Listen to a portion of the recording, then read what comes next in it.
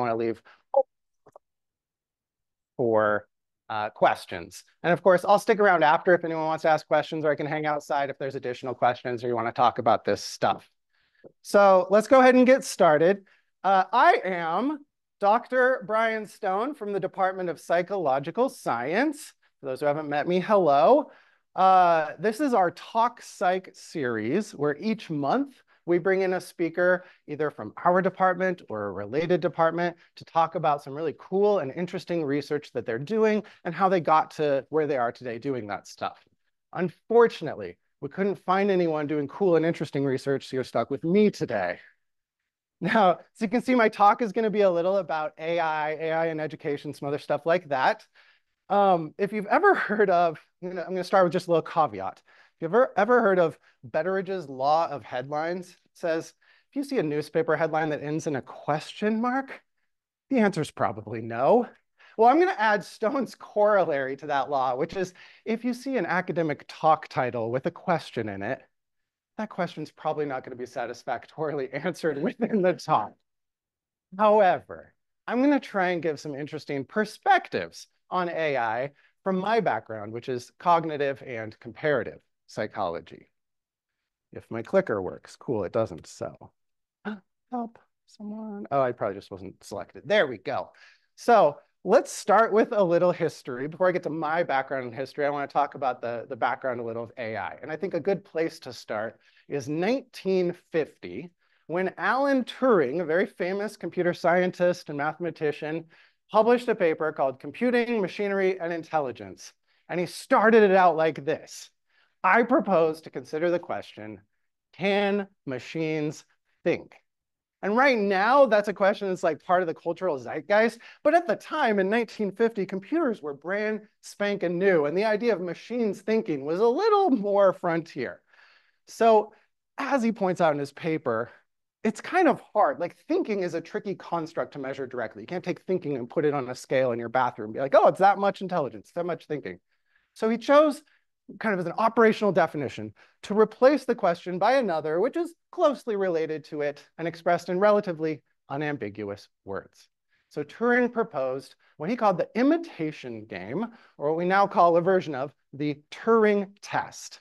So it's basically a test to see, can a computer exhibit intelligent behavior at a level that's indistinguishable from that of a human? And he chose language as the basis here. So in the basic Turing test, if you've never seen this before, you can imagine a person who is the interrogator, the person doing the testing, wants to know if, you know, if this computer is intelligent or not.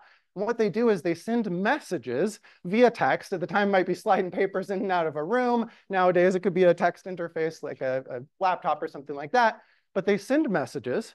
And in one room, we might have a computer, the putatively possibly thinking and intelligent machine, and in the other room, an actual human being.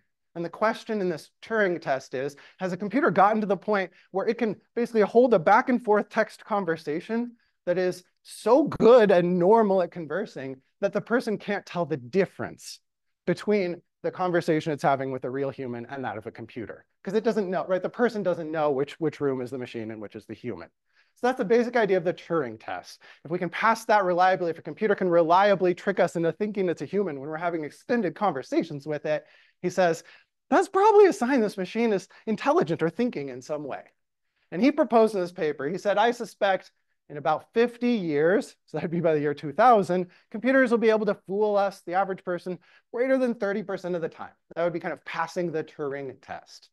Technically, I think the first real kind of careful passing of it was 2014. I'll talk about that later. However, all along, starting back then and, and later, there has been a lot of skepticism about this idea that machines could think or understand, you know, be intelligent or have a mind or be conscious. So for example, in 1980, John Searle published one of the most famous papers in cognitive science, which is Minds, Brains, and Programs. And in this article, he proposed a thought experiment to try and kind of take down or, or critique Turing's test of computers' intelligence. So he called this the Chinese room thought experiment. So this is going to be arguing basically that Turing's test is a really crappy test of whether a computer is intelligent, even if the computer passes the test.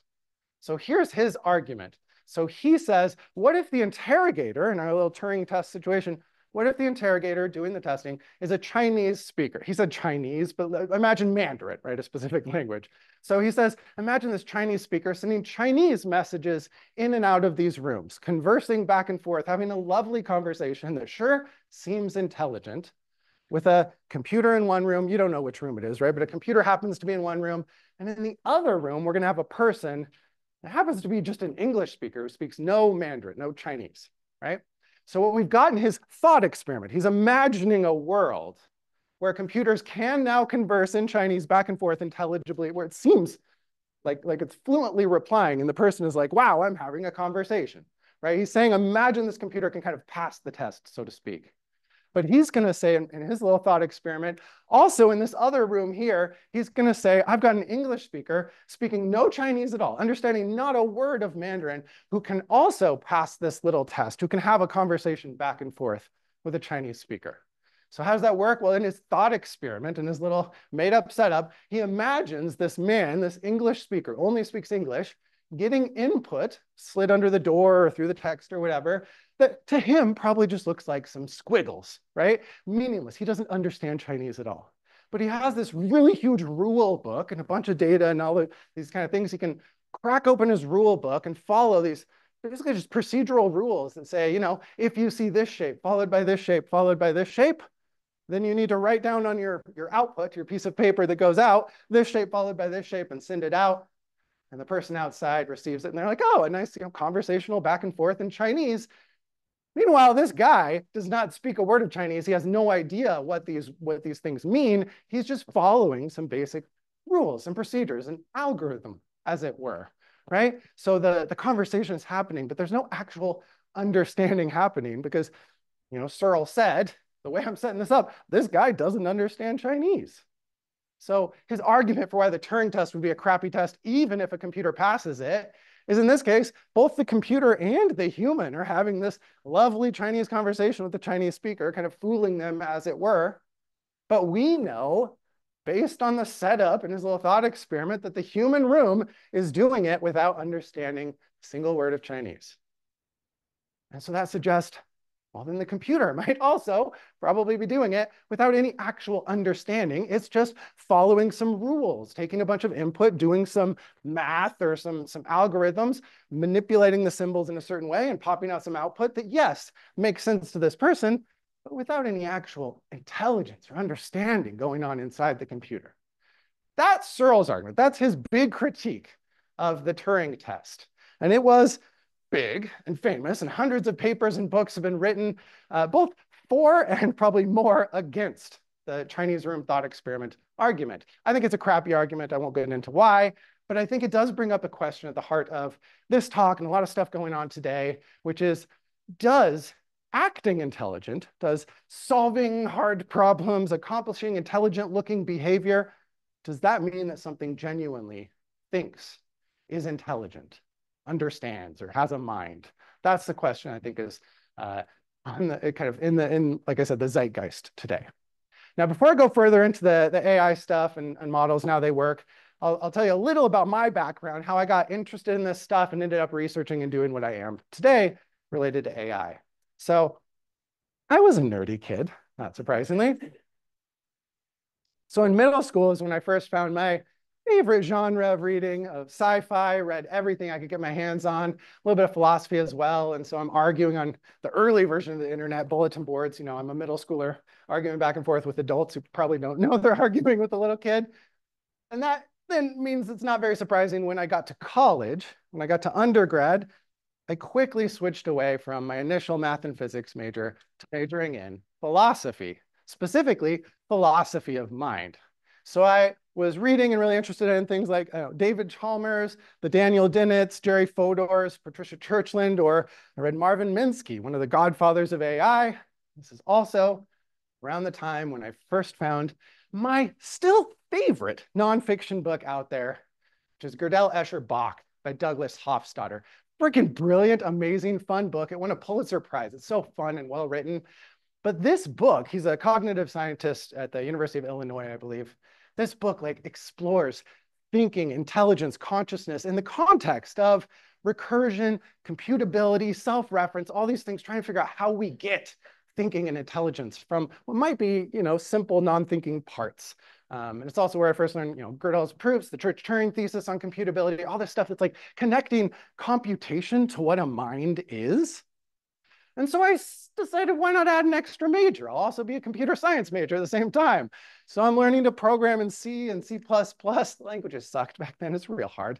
But I did take my favorite programming class, my first AI programming class, which was at the time taught in the language Lisp. This is more than two decades ago, I was taking courses in AI programming. We did not have PyTorch and other nice little machine learning modules you can just download and run on your computer back then. We were using Lisp, which is really the first popular AI programming language. It goes all the way back to the early 60s. And in fact, there had been some kind of AI programming happening even earlier in the early history of computers. So this is Herb Simon, Al Newell, um, cognitive scientist, also big in uh, cognitive psychology. They wrote an AI program in the 19, early 1950s they called Logic Theorist. It was an automated reasoning program that could prove math theorems. This is 70 plus years ago. And then Lisp was coming out shortly after that. It was the first high-level functional programming language, meaning it instantiated lambda calculus, which is like a, you can turn any computation into a function. Basically, all computers are deep down a, a, Turing a Turing machine. It's basically they can they can you know if you set up a computer in the right way, it can compute any algorithm that any other computer could do. Um, so I won't get into the fancy math crap here, but the point is this setup um, the first attempt, the first uh, language we could use to really try and get intelligent behavior out of computers, and for a few decades was the biggest language used for AI, AI programming. Uh, in fact, all the way back in 1960 is when Lisp was used to program the first AI chatbot. Yes, ChatGPT is not the first or new. Um, they were called chatterbots back then, but Eliza was the first famous one. They programmed this thing. It, it was it was mind blowing at the time. It meant people could have a conversation with a computer. And in the 60s, that's pretty weird and crazy, right? Now, the conversation didn't look exactly like, it's not quite the level of ChatGPT today. But for example, Eliza was programmed to talk kind of like a, a, psychotherapist, like a Rogerian, Carl Rogers style psychotherapist. So ask them, prompt them for more questions, for more information, maybe turn what they say around, turn that into a question. So just a, a quick example might be like, Eliza, the computer, the computer therapist, says, is something troubling you? You might type, you know, men are all alike. I don't know what. Eliza says, what is the connection, do you suppose? Maybe you type, they're always bugging us about something or other. True facts. Eliza might say, can you, can you think of a specific example? So she's kind of hard programmed to like, oh, turn it around, ask for more info. Well, my boyfriend made me come here today. Eliza says, is it important to you that your boyfriend made you come here today? Notice, it just took the phrase, my boyfriend made me come here, did a little switcheroo and says, you, your boyfriend made you come here today. Right, so it's just using simple transformational grammar, Chomsky style, like replace the I with the you and you can turn it into a question about just repeating it back to them. This was cool and fun and mind-blowing at the time. But really, it's not that convincing. It's not passing a Turing test. Someone conversing for 20 minutes with this is not going to be convinced that they're talking to a human, or at least it'd be a real weird human if so. Now, by the time I was a college student interested in this stuff in the early 2000s, yes, the early 2000s, this is about the time that we start coming out of what's called the second AI winter. There had been a little period where AI was kind of not making much progress. The way we were doing it, the architecture we were using was not making much progress. Uh, second AI winter was ending right around early 2000s. That's because we ran to the rise, started the, the rise of machine learning or statistical uh, natural language processing, which is basically what's behind ChatGPT and stuff today with some additional transformer architecture. Um, and this is also as you start to get the dominance of what we might call kind of a corpus linguistics approach. So like looking at languages, let's just gobble up all the language out there, the whole corpus, all the words, all everything that's ever been written or spoken or whatever that we get our hands on. And that, looking at the relationship and how it's used, is our way of understanding language or getting language into these models, as opposed to something more hard-coded, like Chomsky's transformational grammar, kind of on its way out at this point for the AI side of, of language processing. So I a little overwhelmed by this stuff. It was really cool, but I did not stick around in computer science. Um, unfortunately, and I say unfortunately mostly for my paycheck, but I decided, you know what? I do want to add on psychology. I want to move away from philosophy of mind, where it's just kind of this armchair thinking about how minds work, to get into the nitty gritty kind of empirical collecting data, getting some evidence and experimentation. So I added a psych major on. I got a dual degree, took an extra year, but that I had some time to be a research assistant in a cognitive psych lab, TA a cognitive psych course, do an independent study, do a graduate class, try and make myself competitive for grad school, build up my student loans as well. I'm an idiot, but it did get me onto graduate school where I went to the University of Georgia in their neuroscience and behavior program. So my specialty was in comparative cognition. And if you don't know, that is a branch of psychology that studies and compares human animal, and yes, artificial intelligences. Now, at the time, I'd had enough of computers for a while. So I was like, forget computers. I'm interested. Do non-human animals think, understand, have minds, have intelligence, right? So like, can apes truly use language? We can teach them to do signs with their hand. We can use, you know, teach them to use these lexigram boards, stuff like that. But are they actually doing language the same way we are in that intelligent understanding way? Or what is intelligence? When a wild crow goes through multiple steps to create a tool to solve some problem it's never seen before, is that a form of intelligence? And how does that compare to a toddler or mine, right? I couldn't solve some of the problems I've seen the crows solve. They're really clever. So in graduate school, I initially did some animal comparative research, comparative cognition research on animals, especially our primate cousins, were kind of closely related to us. So like chimpanzees and these adorable capuchin monkeys you see here, that's Leo. Love to hold that little guy's hand while he worked. Um, and we did studies of things like maze navigation, their ability to plan, um, did some work on spatial reasoning in chimps, capuchin monkeys, uh, two to four-year-old human toddlers comparing to adults as well, um, things like tool use. Um, so basically looking at these cognitive variables, intelligence in various ways, various types of intelligence, uh, compared across species, humans and otherwise. And I'd say one of my big takeaways from the animal work I did in comparative cognition is that intelligent behavior can have a very different topology or, or shape across species. It can be, it can show up in different ways. So like a chimp can solve the same problem that a human toddler can. They might solve it in a slightly different way. And that's partly just because they evolved into a different ecological niche with different needs and different, different problems that they have to solve there. But they're still flexibly problem solving new things. They, they still have some form of what we might at this point call intelligence, however we want to compare that to humans. Some other maybe helpful lessons from comparative psychology or comparative methodology that I think apply to today's, we'll say AI hypescape.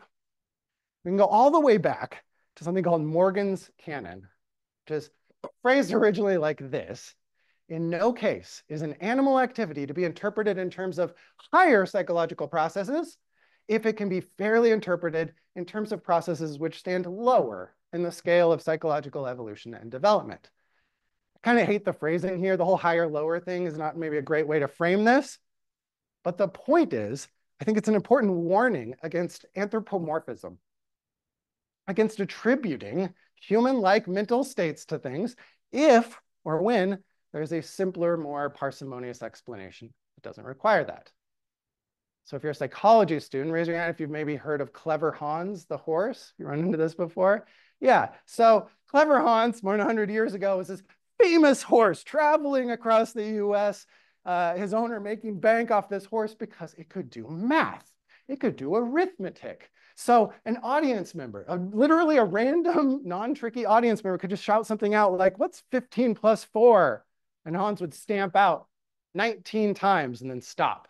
Or in a different audience member might say, what's 15 minus six? And this horse would go, do, do, do, do, nine times and then stop. It was solving math problems. Seemed to be a very intelligent behavior for a freaking horse. Now, when we used careful methodology to test what might really be going on here, is there a simpler explanation? Someone found that this horse social creature that he is, was basically just watching his owner in the corner of his eye. And the owner, unconsciously, not purposely, would be a little kind of like stressed and tense as the horse was counting up and the owner's like, oh God, is he gonna get to 19? Is he gonna stop at 19? And as soon as the horse had stamped a 19th time, the owner, you know, relaxes a little bit, just a tiny bit. And the horse notices this and stops stamping. Boom, it's solving math problems. The performance is there and it looks intelligent. People were convinced. But we know there's a simpler explanation that, that tells us actually the horse didn't understand arithmetic at all.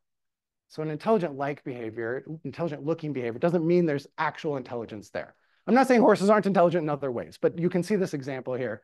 Um, we see the same kind of thing. Oops, sorry. We see the same kind of thing in, uh, that thing from the screen? There we go.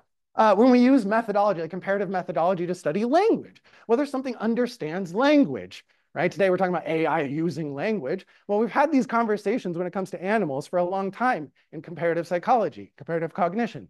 So we use careful methods to distinguish, say, genuine understanding of syntax in language from things like, I don't know, an anthropomorphized appearance of quote unquote understanding or using language that might actually just be explained by simple conditioning. So if you've seen these famous and adorable dogs on TikTok or Instagram Reels, where they press a button and it's like, I want a treat, I want to go for a walk, I want water, I want hugs, I love you, I miss mommy. Like all these, like, oh my God, they're, they're heartbreakingly cute. But also, they can be explained by simple conditioning. That doesn't mean this dog understands language in the same kind of way that humans use language, right? But we do have a lot of research looking at whether some animals maybe can use some form of language. And that would be like, for example, an ape language research. We've heard of any of that. Some, some chimps, some gorillas, some apes have been taught to use signs or to, to press kind of shapes on a lexigram board that might, you know, of course, there might just be an associate, just like this dog, a, a sort of board. Oh, this random symbol means uh, treat, this random symbol means banana, this random symbol means I want to go outside. Cool. Is that language though? So we have to come up with clever tests using methodology to distinguish that from actual understanding. I'm going to show you a quick video example of how we might have done that back in the you know, 70s, 80s, and 90s when we were testing if apes might be using or understanding language. So you'll see a clip from uh, Dr. Sue Savage Rumbaugh testing this bonobo, Kanzi. It's like a pygmy chimpanzee that had been taught uh, language skills, basically and wanted to test, does it actually understand language? And in this case, does it understand syntax, the syntax part of language? Like that words can be manipulated in rule-like manners in a way that might understand something you've literally never seen or heard before, totally novel constructions. That's kind of at the heart of a lot of what we do with language, right? Not just recognizing a noun associated with this shape or this action, but actually putting things together in novel syntactical constructions. So you're gonna see her, one, wearing a mask, so she can avoid Kanzi like being uh, primed by where she's looking. But you'll also see that she's testing Kanzi on things he has never heard before. He's never been asked to do. There's no training here. It's outside of his training repertoire. In AI, we might talk about things being outside of the training data of the models. And so we test in these novel situations. Kanzi, could you cut the onions with your knife?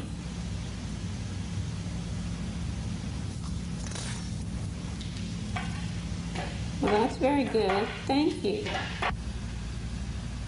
Could you put some soap on your ball?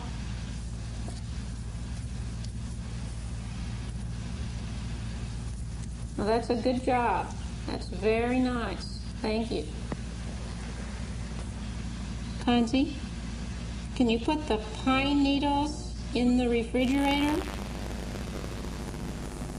We're going to to put pine needles in a refrigerator before. That combination is totally novel. Good job. Thank you. He didn't try to put the refrigerator on the pine needles or vice versa. He seemed to show, and this is across, this is just a, a little sampling of much longer controlled testing, but he seemed, seemed to show an ability to at least understand basic syntax, we'd say at the level of like a two to three year old toddler. Doesn't mean he's using language the way we are, but his comprehension side of syntax can be compared to, say, a two to three year old toddler. Is that language? Is that part of language? Is that a bit of language? Yeah, we can start talking about things like that, but we've got to use these controlled methodologies to think about what are we actually measuring here? And I think this kind of thing, this comparative methodology, has some parallels to the AI research we see today, including some of the hype. So when you see a new model come out in a company like OpenAI or Google or whatever, they're, they're presenting a bunch of benchmarks about the model, what it's able to do on a math test, on a GRE, LSAT questions, you know, MCAT medical exam questions, stuff like that. And you see these amazing performances, sometimes better than humans on some things. They use things like the MMLU, all these other benchmarks is what they're always showing off. The thing is, these models have been trained on, on questions like that. So they've been trained on a whole boatload of practice LSAT questions, practice MCAT questions, math questions like you might see in a textbook or a practice exam or whatever. And so the problem that's starting to be uh, brought up by a lot of researchers in machine learning in AI is we might be overtraining these models on selective types of tasks and examples that show up in this giant training database, this giant corpus of what they've experienced, uh, you know, as, as found in our natural language out there on the internet and all the, the books and stuff they're trained on. But the models actually, unlike all the cool benchmarks that the companies show off, they perform pretty damn poorly on certain even simpler basic reasoning tasks if those types of tasks aren't explicitly in the training data. So I'll give you an example. There's a different benchmark called Simple Bench, for example, um, which humans do great on these basic ass reasoning questions. But if we look at the frontier models, whether it's the 3.5 Sonnet, the GPT-4's Turbo Preview, the biggest open source one, which is the 4 billion parameter, 400 billion parameter Llama model, Gemini Pro, you name it, they're all doing like 25% or worse on these basic questions. I'll show you an example question in a second. So the thing is, if you give them something that's different from what they've been trained on, they're not so great on the novel, the new types of reasoning. Here's a, here's a question, what we might give to one of these models. On a table, there's a blue cookie, a yellow cookie, and an orange cookie. Three cookies, right? There, those are also the colors of the hats of three bored girls in the room. A purple cookie is then placed to the left of the orange cookie. That's four. And a white cookie is placed to the right of the blue cookie. We're now five cookies in the room, right? The blue-hatted girl eats the blue cookie. The yellow-hatted girl eats the yellow cookie and three others. You'll notice all the cookies are gone now. And then we just ask, the orange-hatted girl will, and most of us, knowing all the cookies are gone as a human, if you read this carefully, you're like, yeah, she can't eat a cookie. There's no cookie left to eat. They're all eaten. Humans do great on this. On these types of questions, again, we're looking at like 92% performance on average these large language models, as impressive as they are on answering physics questions and math questions and doing lots of other stuff, they can't get questions like this right, which even small children do pretty decently at. So these models still, right now, not saying in the future, but right now, have a little trouble generalizing beyond the kinds of things that are in their vast training sets, kinds of things they've been exposed to. Now, when we talk about AI having some sort of human-like intelligence, you might have heard like artificial general intelligence, AGI. We used to call this strong AI. But when we're talking about computers having human-like intelligence, what we really want is reasoning that can kind of generalize to novel types of tasks and circumstances. You know, that can reason through situations and problems that it hasn't encountered previously in its training. Now, I'm not going to go too much deeper here on this stuff, but, but AGI, artificial general intelligence is still an open question. Are we close? When is it coming? Will we get there? Is it possible? So you'll hear people speculating things like, are large language models, are they really just fancy autocomplete? Is that all they are? Or maybe does scaling up the compute to a big enough level actually start to bring some emergent cognitive abilities, despite the fact that it's all just math all the way down? Or do we need some new architecture, something different than the, the deep learning neural networks that we're using today?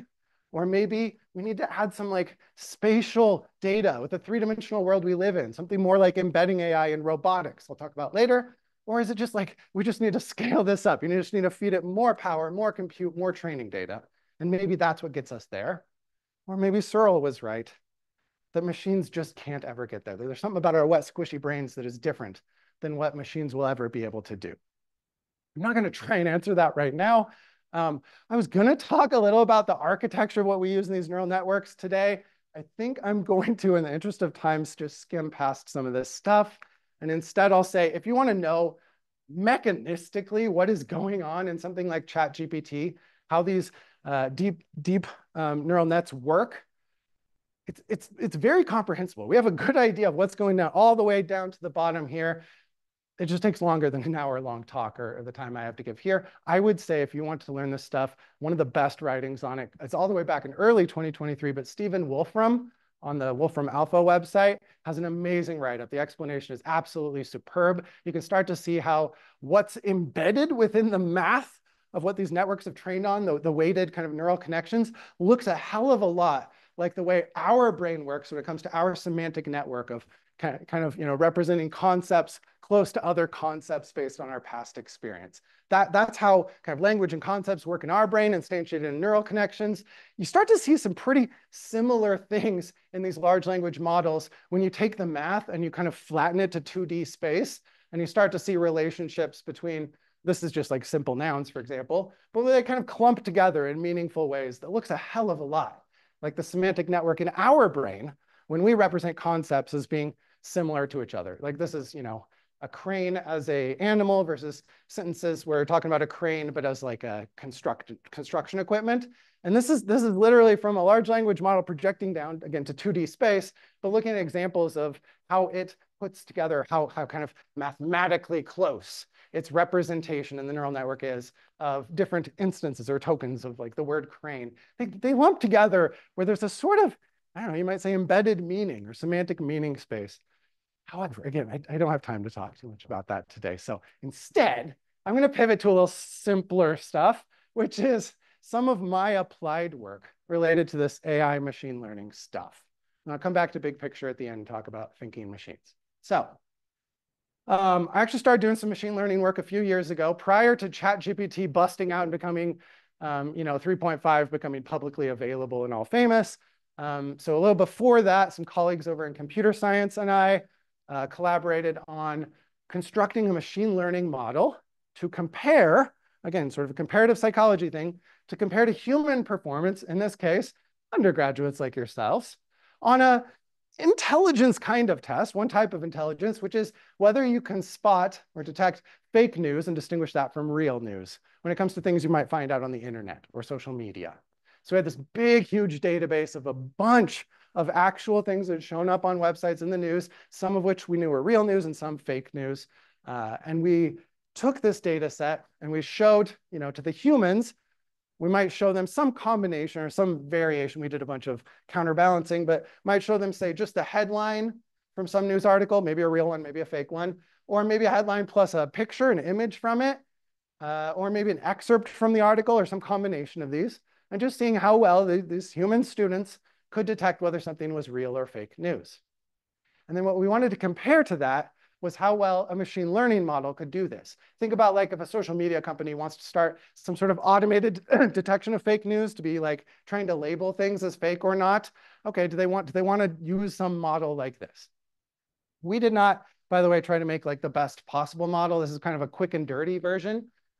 But what we did for our machine learning model is a form of supervised machine learning that literally just means there was kind of a correct answer in our training data set. So all the stuff that we fed and trained it, we showed it a whole crap load of real and fake data sets. We said, here's a, you know, a headline and an image. Uh, and by the way, you know, try your best on it. And by the way, here's the answer. Actually, that one was fake. Go readjust your weighting. And then here's another uh, headline plus an excerpt what do you think it is? At the end, you're like, actually, that was real news. Go adjust your weighting in the neural network. So back propagates, adjusts, and tries again. That was the training. What we did is, it's called a tenfold cross-validation training. At heart, it's basically just a fancy regression model. But what we do, the tenfold cross-validation thing, is just a, a commonly kind of state-of-the-art used method in machine learning. You just take nine tenths of the, the data set, the hundreds of fake and real news articles we had, train on nine tenths of that, but set one tenth aside that it has never seen before. Articles it's not been trained on that we can go test on it later once we've trained it up and see how it does on new things, new articles it's never been trained on. So you train it on nine tenths of the data set, test its performance on the one tenth it's never seen. And then actually for the tenfold cross-validation, you basically do the same experiment 10 times but each time you pick a different tenth to set aside, and then you average the performance. So it's kind of like doing 10 experiments or 10 models, and then average the performance in the models. long story short, it's, it's a bunch of extra computation, but it prevents overfitting of the regression model. So this is kind of the standard these days. Um, how did we actually do it? So again, humans might be seeing something like a headline plus an image, or maybe just an excerpt from, from some article. We're feeding the same thing into the computer, but that means they're seeing maybe some text or some images. So in our little machine learning model, we use some linguistic input. So the LIWC, the features, it would be things like uh, linguistic style and complexity measures, some emotional and social linguistic features, like using emo more emotional language, things like that, uh, detecting some summary features. And then we also threw in some readability measures. So as it looks at this uh, text, whether it's just a headline or the whole excerpt, it's just grabbing some data on, like we have some, some programs to pull out some basic features. We're gonna feed that in as input to the model and see if then after some training, it can figure out based on these things, how well it can start to predict real news or fake news. That would be on the text side of the input. Feed it in the input. Did it get right or wrong? Give it some feedback. Give it a new one. Feed in some input from a new excerpt. Did it get right or wrong? Give it some, some you know, update, and then give it a new one and keep doing this. We give it the answer. That's the training, right? For the, for the side, at least for text. What about for image? Well, we use some, some deep learning models that already existed. So the VGG19 is a model that can basically just identify what is in a picture. Um, it's a 19 layer deep image model. Um, we use that plus uh, Microsoft has a cognitive services API that'll tell you in an image, what's the emotion here? So how confident is it that there's anger or happiness or smiling, neutral, surprise, things like that. This is the input we fed to our model.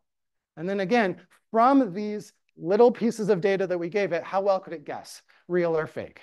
And then we trained it, we gave it feedback over and over until it got really good at this. And then we trained it on something it had never seen before. So it still pulls in these inputs, but now it doesn't know the answer. It's just gonna take its best guess.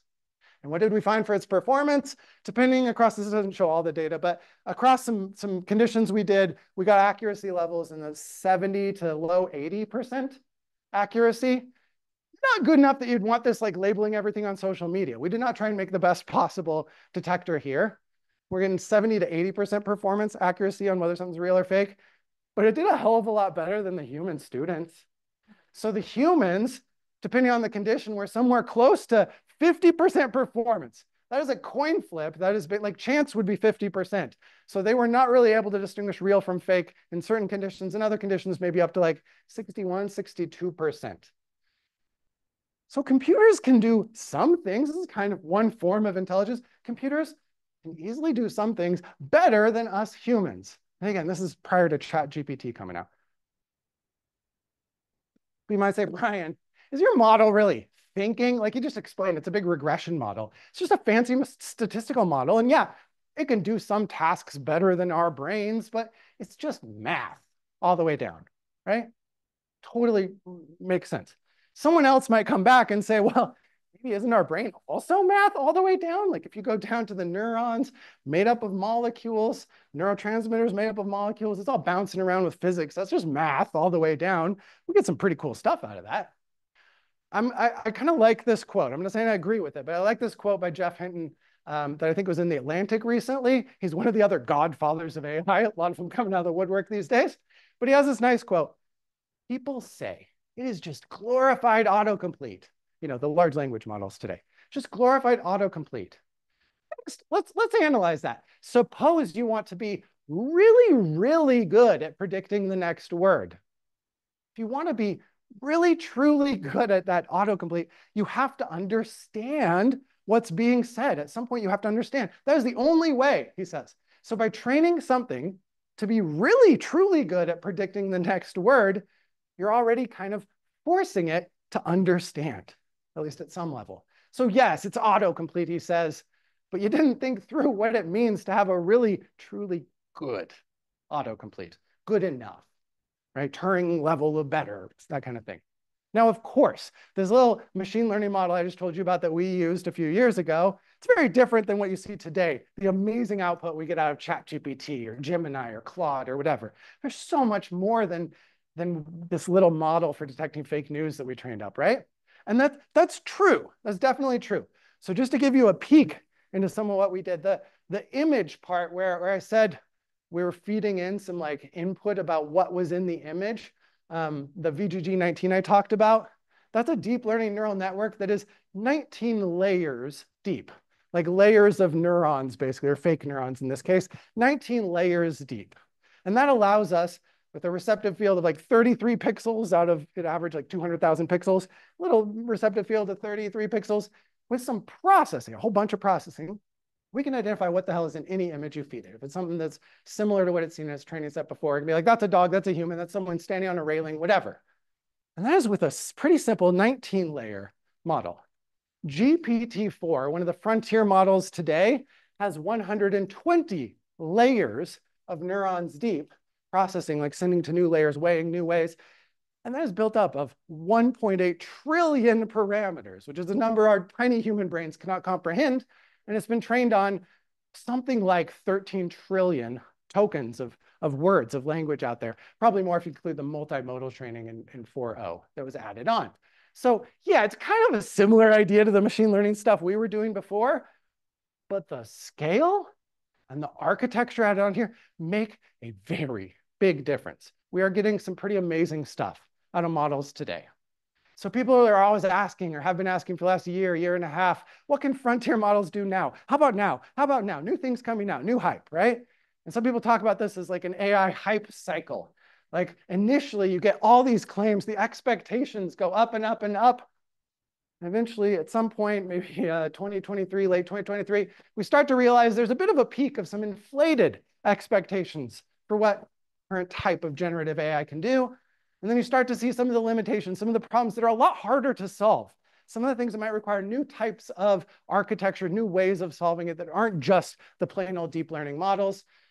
And so you reach maybe 2024, might be thought of as sort of a trough of disillusionment. And then I theoretically, maybe we reach this point a little later, this plateau of productivity, where we start to see some places where these current types of models can in fact help us, can in fact do interesting, cool things. But also some of that hype is gone. We realize they can't really do some of the things we wanted them to do, or some of the you know, general intelligence we had hoped for. Doesn't really come to fruition, at least from these, these types of architectures. So you might be getting a little whiplash from this hype cycle. Like last year, you might be seeing headlines that are saying artificial intelligence will replace people in creative jobs. Artificial intelligence will take all of the programming jobs. All the schools need to be integrating AI into the curriculum. Everyone needs to be AI literate. Uh, the CEO of a job company says AI is going to change most jobs. A little biased there uh, AI will be taking your jobs, or Sam Altman, that's the CEO of OpenAI, thinks AI is going to change the world and everything else, and you'll hear all this. Then you look at some of the 2024 headlines, recent headlines, see things like, is AI just a bubble? The thrill of AI is fading. Wall Street is getting a little more clear-eyed about its value. Um, you know, the, the air begins to leak out of the overinflated bubble. Data guzzling AI companies, poor data guzzling AI companies, the internet is too small. We're running out of training data. And they go, okay, maybe we'll just use synthetic data. The models make some data, and then we train the models on this made up data from the other models. Except we've shown that's a sort of Ouroboros snake in its own tail kind of situation that leads to model corruption, that leads to some issues. So we may not be able to use, there are some, some some exceptions, but we may not be able to use synthetic data as much as we want to do these things. We're running into limitations, things where like, oh, holy shit, we might need more power than is currently produced on Earth if we want to get to GPT-6 two generations from now. We might need more data than has ever existed in all humans, even if you measured all their talking and everything. We need a lot to make this stuff work. Okay, so again, back and forth, like it can do all this stuff. Maybe it can't. We don't know. It's too big. It'll never work. Maybe it's going to work. Maybe we're there.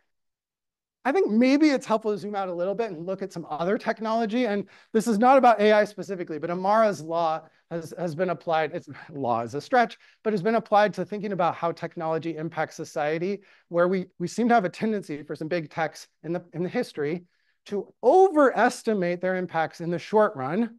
That's kind of the hype, the initial hype, but possibly to underestimate their long-term impacts in the long run.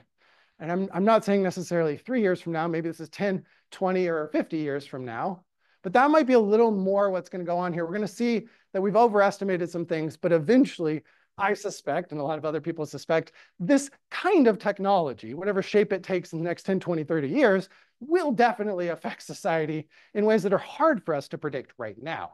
Not as simple as just taking your programming job. It's going to be very different, harder to imagine maybe. Now, recently, literally in September a few weeks ago, ChatGPT released a new model, a new version. If you're a subscriber, you can play with this one already, at least the preview of it. It's called O1. They were calling it Strawberry in the news. They're like secret reasoning model that they're training up. And it's pretty effing impressive. It is really cool. So this is GPT-4's performance on some real hard PhD level problems in physics, uh, chemistry, um, math, and GPT-4 was pretty good at it, but not as good as like PhD students in those fields. O1 is much, much better, a significant leap forward, and in fact is better than the average PhD student in math, chemistry, and physics. Uh, and, and like on really hard, these are called like diamond level questions, like the hardest possible questions at like the PhD level students. And this model is blowing them out of the water in some ways. And not only that, but O1, it's, it's programmed some like chain of thought reasoning, different, almost like a different architecture that's added on to the original GPT-4 uh, model. It's a kind of post-training added on specifically for reasoning.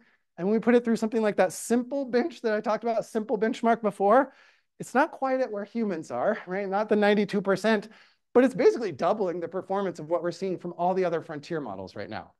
It's not as preferable if you want something creative where there's not a right answer. So when you ask people, you have people try out GPT 4.0, the current or the old version a month ago, and be like, do you prefer like a conversation or an essay from this one versus from O1, this reasoning model? Most people prefer the essay from GPT 4.0 because there's not always a right answer, the kind of thing where there's not always a right answer. But if it's some kind of reasoning where there's a right answer, logic, math, whatever, this is getting up there. When I say getting up there, I mean, it's also generalizing, getting better at out of training types of reasoning. They feed it in like random chains of thought and do a kind of evolutionary algorithm to find the best chain of thought. And it learns to think in ways that we don't have to feed it from our own thinking even. Which is why a week ago, you find Sam Altman, the CEO of OpenAI, saying, we're there. We just reached human level reasoning. So this is their little model, OpenAI, the company says, you know, level one, level two. They say level two artificial intelligence is where the AI is a genuine reasoner, human level problem solving. And then on a lot of types of problems, it's there. We, we just have to admit, for certain types of problems, it is absolutely there. Now, I would still say take this with a grain of salt. Are we at artificial general intelligence? Take it with a big grain of salt because this is coming from the guy who's asking for just a few trillion more dollars to fire up a whole bunch of old coal plants that we had put down and maybe build a whole bunch more nuclear reactors just so we can power the next bit of his company that's currently losing a lot of money. But whether we are, let's say, near artificial general intelligence or not, truly thinking computers or not, these models have gotten good enough to at least do a decent job at, say, a lot of the things college students do, college level tasks that we used to think only humans could do. So things like generating at least passing essays, they're getting pretty decent at that. And in fact, in tests, they fool, you know, a, a high school teacher can be fooled pretty easily by these. Um, college, college professors are fooled by these, like not, not all the time, but we're not perfect at detecting them. Like it's getting close to looking like human writing. Or for example, I had this, took three seconds for me to have ChatGPT crank out a personal statement to apply to grad school for a counseling program. You know, ChatGPT, this, this robot computer thing says, as a college student who has faced domestic violence, my academic journey has been a testament to resilience and transformation. Further down, my academic performance suffered initially. I struggled with concentration, memory, and a pervasive sense of anxiety that made classroom environments and social interactions challenging. Counseling became my sanctuary, yada, yada. It has no thinking, it has no concentration or memory or anxiety, but it can write about that in a way that's pretty convincing. If I was just quickly browsing some applications, I'd be like, this is a pretty good personal statement. So it can do some college level things at the very least. And that leads to some of the research I've been doing over the last year or so, and some of the stuff I'll be doing right, right now and going forward. So this is a little more in AI kind of applied in this case applied to higher education. Sometimes we call it AI Ed. So I'm going to talk a little about some research I've done in uh, teaching and learning, scholarship of teaching and learning, about how AI might fit into to that. Then I'll talk a little about human-computer interaction. That's another subfield of uh, cognitive psychology and some social cognition around AI and social robotics. I don't think I'm going to have time to talk about what I want to go forward from here is a little more studying what we might call hybrid cognition. Think about this as like the combination of, you know, not just an AI wrote it or a human wrote it, but there's some combination there of working together and not just for writing, but for memory, for thinking, for all sorts of cognitive tasks. At some point, we might be not just relying on, but integrating with these, these systems that are somewhat external from our body. This comes from my interest in tool use I've had for a long time. Like my dissertation, I didn't just study tool use in the primates and stuff. I also did my dissertation on human tool use of like physical tools. So then I was questioning things like, when a, when a blind person uses a white cane over and over to, to kind of extend themselves into the world and get new feedback, or a professional tennis player, you know, uses their tennis racket for years and years and years, does that kind of become integrated into part of how the brain represents the body, its body schema? Or someone who gets an artificial limb or is using a neural implant to control a robotic arm or something like that, to, to what extent is that part of our cognition extended into the world? This comes from uh, what's called the extended mind thesis in philosophy. Um, David Chalmers, the guy I mentioned when I first talked about philosophy of mind, him and Andy Clark came up with this extended mind thesis, this idea that maybe some of our cognition is not just a disembodied brain processing things, or even just a brain within a body, but also might extend into or connect to or be um, constitutive of, like cognition might be brain plus world, brain plus tools out there they talk about things like a person with Alzheimer's having a notebook that they consult for their, their memory, kind of extended memory into the world. Uh, there's a similar idea that I, am going to explore more. And then I may, may not have time to talk about AI alignment research I'm doing right now, but let's start here. Let's start with just a quick summary of some research I did this last year. So the end of 2023, start of 2024, did a survey of 700 or so Boise State students about their use of AI, their thoughts on AI, their perspectives, where it fits in socially, how it helps them, whatever, stuff like that. Um, so I'm just going to talk a little about those results. Just for perspective, this is around the time that GPT 3.5 was turning into GPT 4 for those who were subscribers. So what I found from the survey of 700 BSU students at the time, might be even higher numbers now, is that most students considered themselves familiar with generative AI. So this is like one not familiar at all to five very familiar. Most people are leaning towards familiar at that time, right? Makes sense. It's in the news. People are starting to try it out. But when asked whether you're more, like how excited you are about it versus how nervous you are, most students trended to be a little more nervous about developments in AI than excited. Although of course you can see quite a bit of mix there. Now students on our campus at least, of course data elsewhere supports this, students are absolutely using AI. And they are using it in ways that are allowed. So this is a little, you know, less than half the students, a small, I guess 150 out of 700 or uh, sorry, how many students do I have? Full data set here. Maybe this is the earlier data set. However, uh, basically, uh, the final data was about 60% of students at the time had been using it in ways that are allowed. And a much smaller proportion of students were using it in ways that are explicitly banned in their classes. So very small amounts say I do that a lot. Some people say they do it, you know, once in a while. And thankfully, most students, the majority, are not, according to themselves, cheating with AI, using it in ways that are not allowed. But when I asked about circumstances that are ambiguous, ambiguous use cases where you're kind of not sure if it's allowed or not, if it's banned or not, students are much more likely to be using it than when it was, you know, explicitly banned. And that is the majority of students using it in that way. Now, when we think about students using AI, like y'all, uh, we're, we're often talking about things like GPT, uh, ChatGPT, Gemini, for visuals, maybe Midjourney, DALL-E, stuff like that. But like it's out there everywhere now. Everyone's trying to make money on this. So Chegg and Brainly, the old cheating slash studying sites, that's AI now. It's on your social media, all you know, like right, Snap and Insta. It's got built-in AI, Facebook. It's also in Grammarly, if you're using that. Maybe for years, your professors were telling you, use Grammarly to like tighten up your writing a little bit. It's also AI powered now, and you can really easily get yourself screwed over if you're using it in a situation, you may not even realize the extent to which AI is powering what you're doing. And then your teacher says, that's not allowed. And you get in this like kind of confusing middle ground of what's allowed, what's not. Uh, initially, people didn't realize Grammarly was AI powered. And there were a couple news articles about people turned in for it. Same thing with, it's getting integrated into Word, Excel, Google Docs, like it's in the productivity suites going forward. It's going to be part of our life. And of course, those who are more uh, ad uh, adapter have been trying it out, might be using the custom GPTs or GEMS, the OpenAI's Canvas from last week, kind of a side-by-side -side con converse about a document, help you write it as like a tutor almost. Notebook LM, you can make a podcast about anything in like three seconds. If you want to throw in the, the slides or a book that you're reading or a bunch of um, really complicated science articles, tell Notebook LM, I would love an engaging podcast of about 20 minutes on this topic. And you'll have these two people talking back and forth very engagingly about it while you drive to class and get a little review of things. This stuff is, is pretty impressive and it's, it's out there everywhere for everyone. That also means y'all, students, are, are running into cheating opportunities, we'll say, all the time. This is people trying to make money off of you. So they hire some student to tell you, oh my God, life is so much better using Phrasly.ai or all these other ones, right? So like here's maybe an example from TikTok.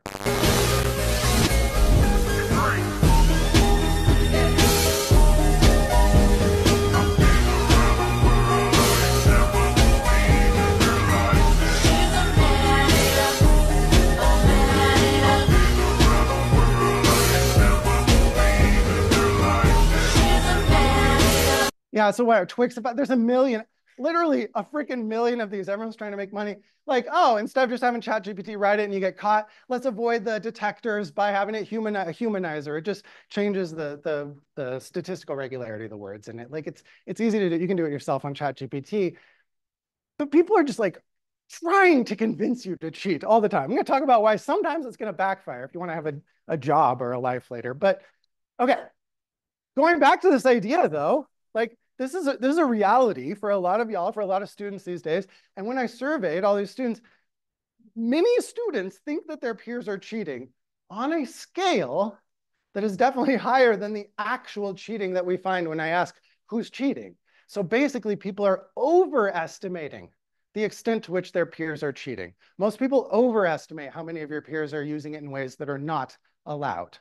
Now, the more they think their peers are using it to cheat, the more likely they are to do the same. So if you think everyone else is cheating, you're like, maybe I should just cheat. I need, I need to keep up with the, the Joneses, so to speak. Now, when I ask about like how moral or ethical is that, there is a small proportion of people that think it is ethical, that think it's morally okay to use ChatGPT or whatever to cheat. Most people don't think that's the case. When I ask about ambiguous use cases where it's a little less clear, now we get a more mixed, and there's a lot more people who think this might be ethically cool. No problem. And in fact, the more familiar a student is with AI, the more excited they are about AI. That makes sense. You're familiar, it's exciting. But also, the more morally acceptable they find cheating with AI or using it in ambiguous circumstances. So familiarity potentially breeds some um, sketchy behaviors with it. Uh, other recent data, by the way, suggests, this is to the professors out there, about three quarters of students intend to still use AI even if their professors ban it. And there's uh, multiple studies that have shown basically the same thing. Now, sp spotting AI, um, in some cases, spotting AI is kind of easy. So as a professor, right, you get emails like this sometimes where it's written in the very default ChatGPT speak that's very recognizable. I trust you are doing well. I hope this email finds you well. I am writing because blah, blah, blah, blah. I regret to inform you I encountered, I kindly ask, it's kind of just some vagaries that sound real nice and formal and professional. Thank you for your attention to this matter and your understanding, yours truly, and blah, blah, blah. Like we can often recognize it, but if you think you can always recognize it, whether you're a teacher or one of y'all on social media trying to recognize whether that Reddit post is a bot or a real person or this deep fake, is a real thing or a deep fake, we're not as good as we think. And that's because it's basically a form of survivorship bias. Sometimes we call this the toupee fallacy. Like, yes, you can spot some of these, the easy to spot ones, but you don't realize and thus don't take into account in your mental model the ones that are really good that you don't you don't know the ones you don't recognize and so you think you're better at detecting it than you are that's the toupee fallacy. It's a signal detection thing, right? Like trying to detect things, whether it's a TSA agent at the airport looking for bombs or whatever. Sometimes you detect things properly. Sometimes you classify things properly. Sometimes you get false negatives where something slips by and you don't realize that was a deep fake. And sometimes you get false positives where you think something is AI generated when it's real. Now, automated AI detectors, they're imperfect. There are studies showing that they can get close to perfect performance, like no false positives or false negatives in a very limited context, like roughly 500 word GRE essays, yes, perfect performance. However, when it comes to more general detection, like was this essay written by a human or not, they have errors. And some of those errors, like I said, are false positives, thinking it's AI when it's not, and that can cause a serious cost in trust. Right? This makes sense. This is a kind of a funny example from the internet, but this is not an email I ever expected to receive or send, the person says. So they had written back to the company, the AI design of your email is clever, but significantly lacks warmth. Would it be possible to be contacted by a human being moving forward instead of AI? And the reply they get, it's not an AI, I'm just autistic. See you next Friday. But, but that can, that's a social interaction that can hurt, right? So, so this can damage trust or relationships. There's problems when we have false positives. And in fact, when I ask students, have you been falsely accused by a professor when you didn't actually use ChatGPT or whatever, a full 10% of the students in my sample said, yes, that has happened to me. Most of them ended up a warning or they were able to talk it out and realize it was okay, but 10% had at some point been falsely accused. And of the other 90% of students, two thirds of the rest are still worried about it, still worried about it to some extent or to a great extent.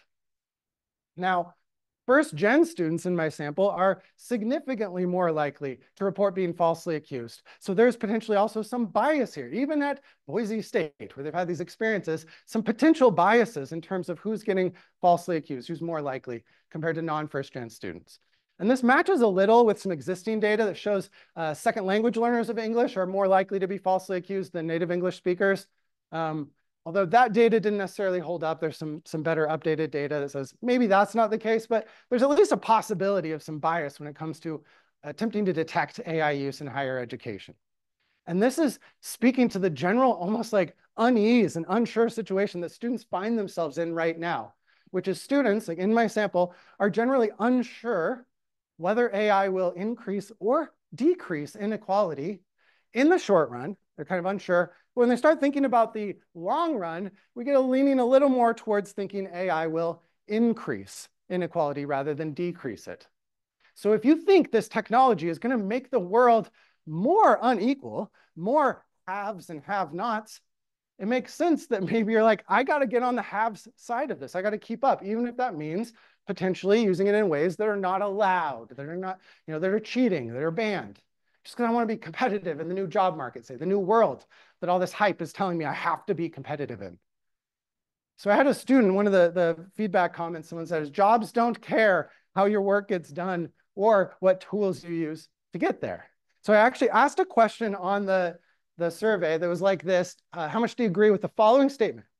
Unlike college, jobs and industries care more about the product and the output of work than they do about the process used to get there. And the vast majority of students agree or strongly agree with this statement, with this philosophy, a sort of almost mercenary or at least pragmatic philosophy of like, jobs aren't going to care what you do as long as you get the output. Now, tell that to legal at the big company you end up working at, and they're going to disagree, right? But there's this, this philosophy there that might be influencing how people think about their college training and how they might use AI in it. So in fact, the more students agree with that, the more that they think jobs don't care about how work gets done, the more they think it's totally ethical and moral to use AI in ways that are banned or ambiguous. So it's okay to cheat if you have that philosophy, right? You're more likely to think that way. Now, the thing is, most students are starting to think that AI is in some way relevant to their career. So this is not relevant. This is completely necessary to your career. And this is the middle ground most people have been at for a little while at least you know, six months ago. And likewise, when it comes to how necessary is it in your college training, some people say not really necessary, and a few people think really important, but most people are starting to think like, I need some, maybe that's to some extent important in my college training. And that might be an issue. Oh, sorry, I'll come back. Um, I do want to mention the, the more that they think AI will increase inequality, the more that they think that's a long run going to be haves and have nots from this technology, the more they think it is necessary or important to learn about it in college, to get some training in college. And unfortunately, when I ask how many of your professors have addressed AI, and again, this is late 23, early 2024, last semester, um, most people say that some or most of their professors have addressed AI in some way, but it might be very shallowly, like a syllabus statement or just saying, don't use it, right? When I ask how many of your professors are integrating or requiring this or giving you the actual kind of hands-on experience where you have to use it or they're using it in class, very few people say that most or you know all of their professors are doing it. Almost everyone is like, none of my professors are doing that. And some people might say, yes, yeah, some of my professors. So they're not getting a ton of experience at it yet. Now, if you're interested, I've been part of helping develop the Artificial Intelligence for All, the AI for All certificate that is now live on campus. I think you can get this as early as this coming spring, 2025. It is a simple seven credit certificate. Uh, you take a cool philosophy class, a very one credit small library class, and of the choices you can pick, oh, look, there's a psychology class. If you've taken cognitive psych with me or you're doing it in the spring, you're already almost halfway to a certificate in AI that you can put on your resume. Cool, right? Except, even though I'm part of that, I want to argue college is not just about work skills and AI literacy that everyone's talking about. I think we're at a freaking university and you have important work to do intellectually. You should be the ones, you're the thought leaders of the future. You should be the ones figuring out, kind of critically dissecting AI's role in society, how it's designed, how it's regulated, what AI like means and how we'll deal maybe ethically or logistically with AGI, ASI, whether that's incorporated into our job market or philosophically, are these going to be our like slave robots? Or are they going to be treated like humans? Are they people, right? We, this is the stuff of university. So not just learning to be a freaking prompt engineer, but thinking what AI is, what it means, why it matters, and what to do about it, and to lead that in the future. So I would like to say, this is a metaphor some of you have heard me use before. If you're thinking about how, how you use AI in your education and higher education, I like the metaphor of gym. Imagine the most expensive gym membership you could possibly buy. Tuition is pretty expensive, right? You're paying to come here. Imagine a tuition level gym membership. You're paying thousands of dollars and you go in and you're pressing a button to have this robot do the lifting for you. You might show off to your friends later, be like, I reached a new personal record today right? My GPA is this big. I got an A on this test or whatever. But your own muscles are atrophying and shrinking away, decaying away. When I say your muscles, what I'm really talking about there's your brain, your ability to do things. So I like to think in this metaphor, us professors are kind of like, we're your personal trainer. I'm not there to do the lifting for you. I'm going to try and help and support and teach you how to do the heavy lifting. You still got to do the heavy lifting. Read the books, think the stuff, write the stuff, because that's what builds muscle. That's what builds brain. And you need a brain that is big and flexible. You need that intelligence that we're arguing whether AI has it. You need that intelligence if you're going to go out into a world that is full of people trying to tell you that AI is going to take your jobs or people trying to replace you with AI or whatever it is. So the hard work is the important part. The fact that ChatGPT can write your essay doesn't mean it's going to help you in the long run. It might be screwing yourself over for short-term gains. Gains. Okay. I'm going to talk really briefly at the end here about my research in human-computer interaction, social cognition around AI. I'm going to breeze through a little of this stuff. I did not talk fast enough. So you might have seen there's a lot of news about how AI is getting integrated into robots and robotics. There's a lot of money flooding into robots right now, putting AI like in uh, figure two, for example. This is OpenAI is putting theirs inside. It can talk. It can do things. You tell it what to do. It'll, oh, I'll move the dishes over here, whatever. So one of the research studies I have ongoing right now, it's big because for interaction effects, you need like 16 times the usual sample size. So we're still collecting data on this one, but I show a picture like a, a, an agent, a person, either a human or a dog or a humanoid robot agent. And we give it a little description, a little vignette about this thing, um, describing its who it is or what it is, uh, which is either a humanizing kind of anthropomorphized description or a neutral one. So like Robot F works as a branch manager in a supermarket. He usually works in the evening. This evening, there's a problem in the meat department, blah, blah, blah. F panicked a bit because there was almost no one else, yada, yada, yada. Someone gets there, short circuit, much to the relief of F. Fortunately, blah, blah, blah. But he was glad that the problem had been solved. Right? It's like a humanizing way of thinking about this robot. And then they read a couple other questions like, do you think the robot trusts so-and-so? Like these humanizing questions. Or I might do the same thing, but for a human, right? So a human B works as a branch manager, use the exact same vignette, but now it's a human. Uh, the dogs didn't work as a branch manager, but it might be like a rescue dog for an avalanche or something like that. That could be a human, a robot, or a dog. Those kinds of scenarios. Sorry, I'm trying to breeze through this. And then I ask them these ethical dilemmas. Like, now that you're thinking about this robot, either as a humanized robot or a neutral description of this robot, would you sacrifice this, in this case, robot? Would you sacrifice this robot to save some other person or people? Like there's a flood, the rising water is threatening a bunch of people on a farm. They are going to die unless you do a thing to the dam that kills F, this robot you just learned about. So you can kill F to save all the humans on the farm, or if you don't do anything, those people will be swept away and drowned, but F will be fine. And there's a bunch of other questions like that, but this type of ethical dilemma, basically testing if we humanize the way we think about these robot agents, will people start to treat these artificial agents in a, in a certain way? Imagine in the future, like a AGI within a robot body. Do we start to think of them like people? How do we think about them? How do we treat them? And then ask some other questions about how people perceive them. That's one example of a study I'm doing right now. Another experiment that's in progress is more about GPT-style LLMs in general. So does how we talk about AI change our, our sort of attributions and how we think about its thinking capacity, whether it is a thinking machine or not, like its capacity for reasoning or theory of mind or whatever. Like, are our mental models of LLMs being influenced by people who describe it as just fancy autocomplete versus in more anthropomorphized humanizing language versus a, you know, a neutral description or control with no description or whatever.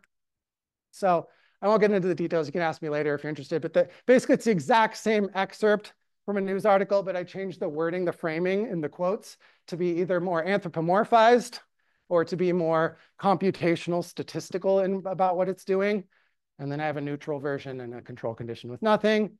And what I'm asking is basically after this, this type of thing, seeing some examples like this, what is your mental model of ChatGPT? And I compare it based on some previous research about like mental models of what babies, uh, dead people, frogs, adult humans are capable of. Like can this thing, does it have understanding? How capable of understanding? How capable of feeling hunger is this thing? How capable of free will, of remembering things, of creativity, of feeling fear, and so on. And I want to see basically where ChatGPT falls relative to some of these other agents that we think about, our, our own kind of theory of mind about other theories of mind, and see where ChatGPT falls, say, if we've given it this kind of humanizing um, mentalistic description versus a more statistical, oh, it's just a autocomplete kind of description.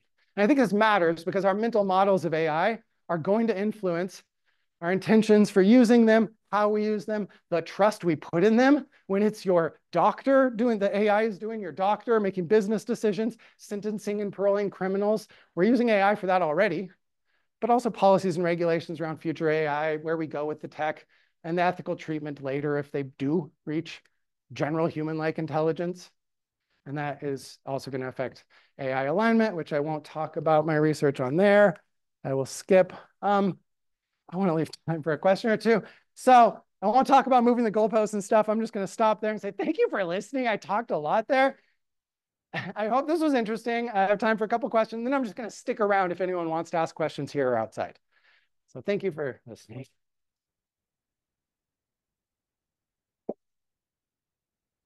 I thought it would go a little faster. I'm sorry. Uh, any questions before you need to leave? And on the way out, of course, you can sign the attendance sheets or scan the QR codes. Does anyone have a question? I'm just disappointed by. Let me finish that. My, my students email me who say, I hope for well. well, the problem is sometimes it's real and you don't want to you don't want to write someone off. yeah.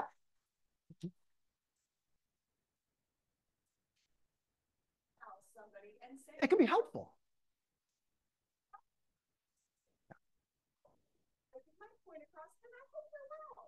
Yeah.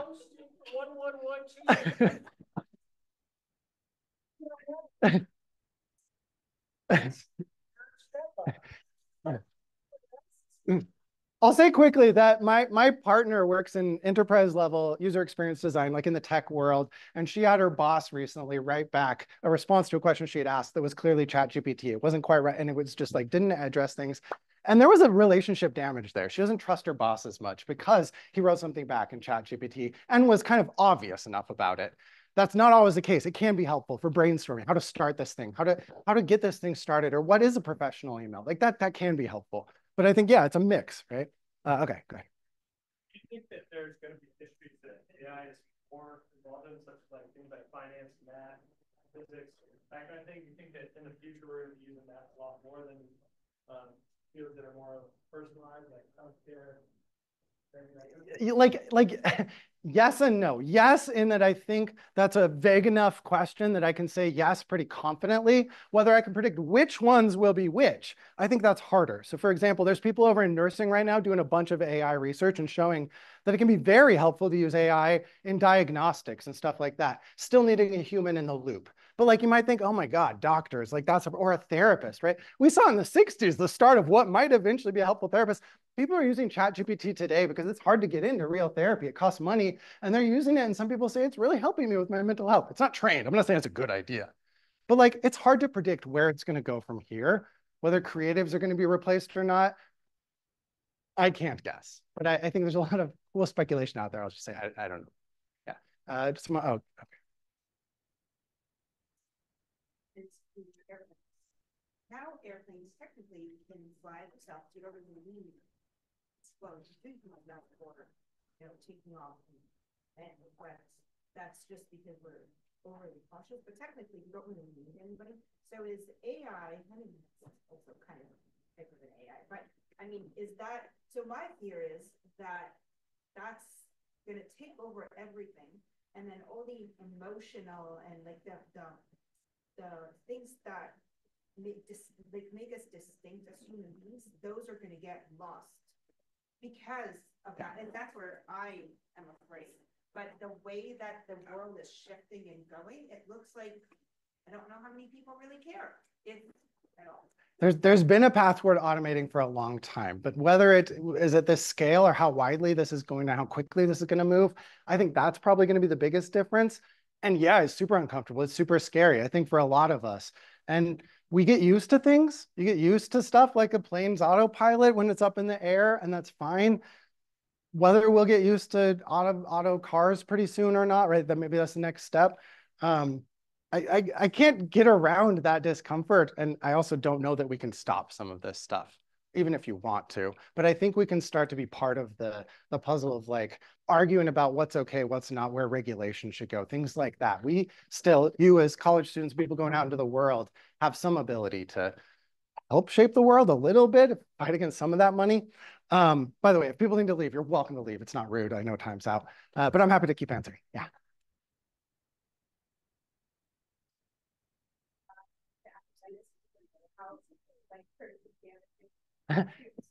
yeah. So the, the question was, can, can we integrate AI into academics, into education and learning in a way that actually helps and doesn't maybe critically damage things? And I think absolutely yes. I think we're not there yet. And there's a bunch of money going into to ed tech, they call it, to companies trying to get on that. And, you know, there's AI in um, Khan Academy. They're trying to like make it like better tutors. I freaking love Khan Academy. It's a nonprofit. They help people. Sometimes there are ways in which I think AI will absolutely be able to help our, our learning if we use it right. Um, and that's some of the other research I'm, I'm moving on to is basically when does it help us do cognition, learn, think better, um, instead of just replacing it. I, I don't know that we're seeing models that I think it's just being tested all over the place right now. People are testing little bits and trying to figure it out. It's early. But yes, I hope so. Yes, I think so, because we can't avoid it. Yeah. My God, I guess I will talk to people outside if you want to talk. Thank you for, thank you so much.